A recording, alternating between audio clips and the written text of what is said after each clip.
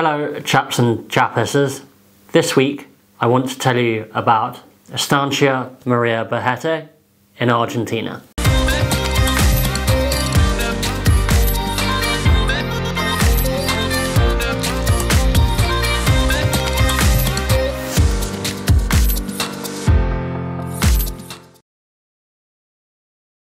I returned to Estancia Maria Behety for my annual hosted trip this January. This is a trip I look forward to every year, not only because it means I get to return to the Rio Grande, uh, which is a wonderful river, but also I get to see Buenos Aires and I get to spend time with clients. This is very special for me because I used to guide on the Rio Grande and it brings back a lot of great memories of my guiding days and also I get to see how techniques have developed on the river which they always do because it's quite a technical fishery. I met the group in Buenos Aires this year as we all had flights from different directions. Spending the first night there really it's a great opportunity for everyone to get to know each other and enjoy the best of Argentine food and hospitality. We were staying in Palermo, which is a great area in Buenos Aires, as is Recoleta. They're both close to each other. They've got fantastic places to stay, and they've got some of the best, certainly steak restaurants you will find anywhere in the world. The schedule for the Aerolíneas Argentinas flights changes each year we always hope that you're going to be able to fly into Rio Grande at a sensible hour and then depart at a sensible hour. Unfortunately this year it wasn't the case. We had to fly into Rio Grande on Friday evening and we arrived very early on Saturday morning. This isn't an issue. I mean the flight takes three and a half hours and we were met when we arrived and we transferred to a local hotel, the Grande Hotel, at lunchtime the following day, we were picked up and transferred to Estancia Maria Behety. This is really easy and it only takes 40 minutes. En route, we passed La Villa, which is owned by the same Estancia. They often get confused. La Villa takes 6 rods, Estancia Maria Behety is slightly larger and takes 12 rods. Although La Villa is located downstream, they fish the same water and they rotate through the same beats. So whether you're fishing one or the other, you still have access to some of the most fantastic water on one of the world's best sea trout rivers. On arriving at Estancia Maria Behety, it was wonderful to see the same faces again. Mariana was there, Ropo was there, and Gennaro, the head guide, was also there. I think this season was almost, it might have been his 20th, so to say the guide team at EMB is experienced would be an understatement. On being met, we had a drink and then were quickly taken into the dining room to have a delicious lunch. This was an instant reminder just how exceptional the food is at EMB. Soon after, we got to tackle up and then we just prepared our kit for the week ahead. EMB is on the north bank of the Rio Grande and moves in rotation with the lodges on the south side of the river. They have access to a huge variety of fishing from the middle reaches of the river all the way down to the bottom. I always choose to set up two rods because of this. You can fish a single-handed rod, but my preference, especially early in the season when we were fishing, is to have two two-handed rods. I like a 13 or 13 and a half foot 7-8 or 8-9 weight, uh, one with a Skagit line and one with a Scandi line. What the guides tend to do is they will always approach the pool with the least aggressive tactic. So you'll start fishing the pool with a Scandi line, an intermediate tip and a long leader, and often a small fly like a EMB nymph or green machine. If nothing happens on the first pass through, then on the second time around, we might try and fish a little bit deeper. And that is where Skagit line can be useful and you can cast heavier tips and heavier flies. A Skagit line is also really useful if it's a particularly windy day, which is not that uncommon in this part of the world. Reels, I use my salmon reels. They're perfect for this kind of sea trout fishing.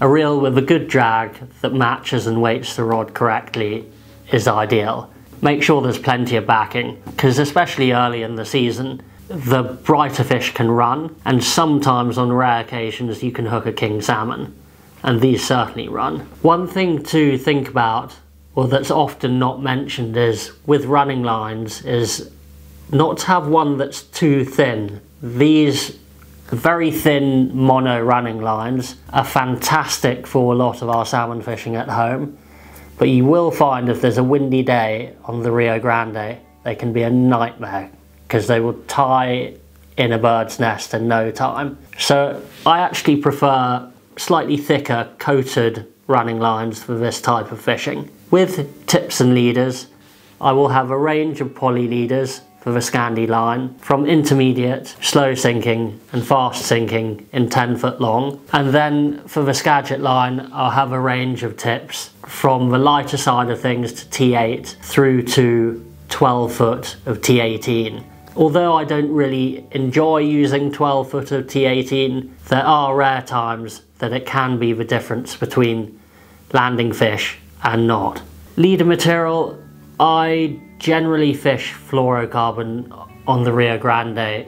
You can use Maxima Ultra Green, but the water is quite clear, and when it's low, I do feel like fluorocarbon gives you the slight edge. I prefer not to fish too light. Even 15 pounds is erring on the side of too light for a lot of the fishing I do there. So I tend to stick mostly around 20 pounds fluorocarbon or 23 pounds. I often won't fish much heavier unless I'm fishing in the evening with big leeches and then stouter material like 25 pound fluorocarbon can be of benefit with these big flies, especially as fish aren't too leader shy when the light drops.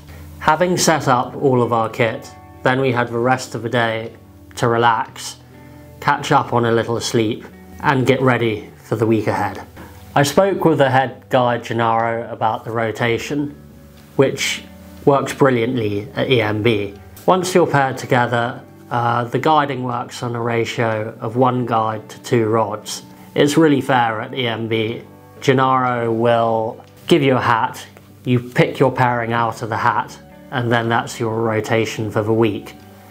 You'll have different guides each day, and you'll rotate through all of the main beach that are fishing well during that week. The following day I spent the morning with a couple of the team who hadn't done a lot of spey casting before. Although all of the guides have huge amount of experience with both guiding and teaching all of the rods spey casting where necessary, especially when dealing with the wind. It was useful for me to be with a couple of the team. Then myself and Sebastian, the guide, could give one-on-one -on -one tuition with spey casting to the guys who hadn't done that much spey fishing before.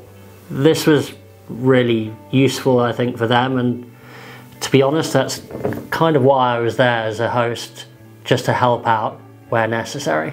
Being on the river again was is always wonderful. It's a really very special place especially if you like salmon and sea trout fishing. There's really nowhere like it. I enjoy fishing the whole of the season on the Rio Grande, but I especially enjoy the fishing early in the season in January. The reason why is I love catching some of the brightest and strongest fish of the season. At this time, especially earlier in January, you don't have the same numbers as you, as you might late in the season, but you're catching some of the best fish in the season. And when you hook into these, you can have some extraordinary fights. Funnily enough, the best fights are often not from the very biggest fish. The best fights are often from a fish that's 15 to 17 pounds in size and often a female.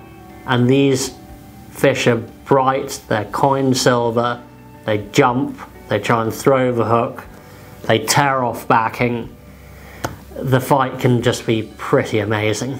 It's worth talking about the rest of the season also. I love fishing early in the season, but there's no bad time to fish the Rio Grande.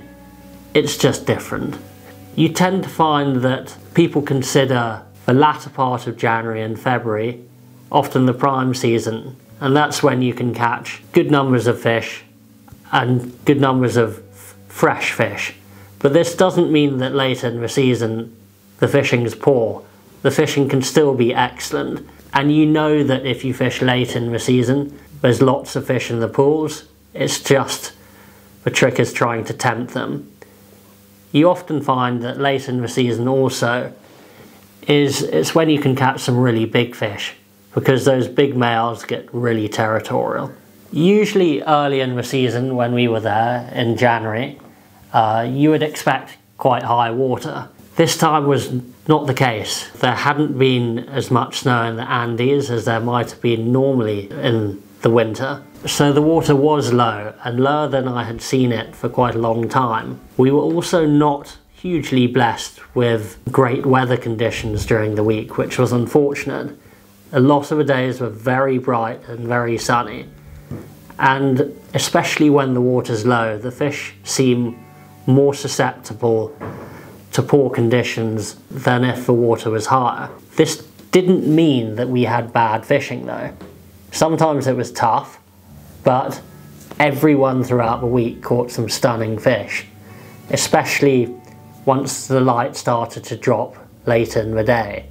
And you will find, I always say to people during the week on the Rio Grande, is what often happens is you go through a tough patch of a session or a day where your partner's catching fish and you're not. But if you keep at it, everyone hits their golden patch. And throughout the week, you tend to find that everyone has had good fishing and it's fairly evenly spread.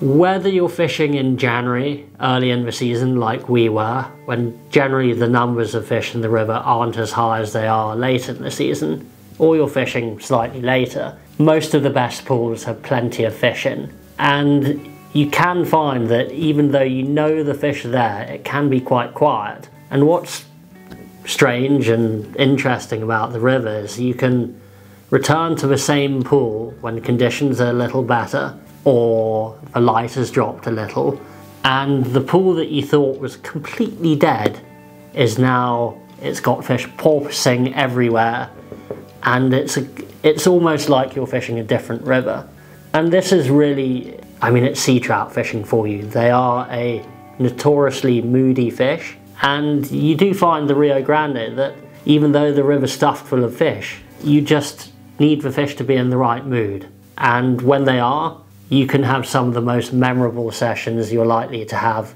on any river in any part of the world. So throughout the week, the water was low, so we did have to be really stealthy with our approach to the pools. And as I mentioned earlier, you will find the guides at EMB. Firstly, they've got a huge amount of experience. The junior guide there has been there five years, and the senior guide has been, Gennaro, has been there 20 years. They know, they really know what they're talking about, and they're not remotely shy of imparting all of their knowledge, and they really, really want to catch fish equally as much as the angler does. So we found that stealthy approach was so important. So we'd approach a pool with really long leaders, Scandi line, an intermediate tip, and fish it slow and fish it carefully. For me, when I fish a pool, especially if I know there's plenty of fish in it, is what I really want to know from the guide is where the hotspot is. Because some of these pools are quite long, and I really want to know where the taking spot is and that means in that taking spot then I can concentrate on it a little more and fish it slightly slower rather than fishing the whole pool extremely slowly. And if I know there's fish there especially if they're showing I will constantly be thinking about changing the angle of the fly when I'm mending changing the fly itself. And often these small little changes can really be the difference between good fishing and not. My there's lots of ways to fish the river and there's no right or wrong way, but often my first approach is to try and keep my angle fairly shallow and fish for fly fairly slowly if I'm fishing small flies like nymphs or green machines. I find generally that um, a really square cast often doesn't fish quite as well as fishing the fly slightly slower. This isn't always the case though. The guides do have a lot of experience and although they're not going to be shy to tell you how they how you should be fishing the pool, uh, it's really worth just making sure that you're doing exactly what they want because sometimes if you don't ask they will just assume. Ask technical questions like when you go to the pool, ask where the best taking spot is. Ask the angle and speed that you should be fishing, exactly how you should be stripping that fly. And all of these little bits of information, be really specific about how they want you to fish that pool because that will make a big difference to your success, especially often when it comes to fishing with a Skagit line and fishing slightly deeper. How you, the angle you cast and how you mend when you're using heavier tips and heavier flies can have a huge impact on how deep you're actually fishing. Even if you're fishing 12 foot of T18, if you fish it in the wrong way, it might not fish that deep. So pick your guide's brains and really ask them exactly how you should be fishing that technique and how they want you to move through the pool. Although on the Rio Grande you're not really meant to fish or you're not allowed to fish when it gets dark, you will fish to dusk and the light will be failing. It's really worth kind of making sure you get an idea of the structure of the pool before you're struggling to see. And of course, again, ask your guide about how they want you to fish it. One thing to note is that obviously I always advise wearing sunglasses when you're fishing on the river at any time, but it's really worth having a pair of clear safety glasses when the light's failing because then you're still protecting your eyes when you're casting these big leeches.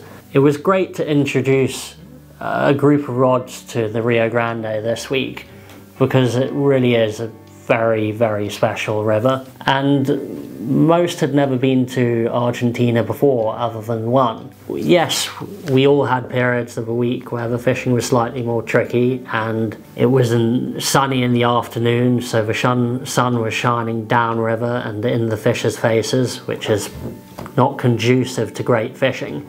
Everyone caught some stunning fish. It was great that they got to see what fishing in January and fishing the Rio Grande is all about. Most of the guys all caught fish of 15, 16 pounds and up, and some bigger. In most places in the world, that would be a fish of a lifetime. On this river, that's a lovely fish, but it's not a fish of a lifetime. It was great to return to the lodge each evening and just speak to everyone at the bar and find out who had the story from the session and the day. And there were always lots of stories. Some of the notable fish of the week were some cracking 15 pound fish, a lovely 16 pound fish.